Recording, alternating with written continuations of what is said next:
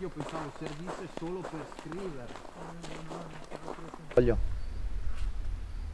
3 dicembre.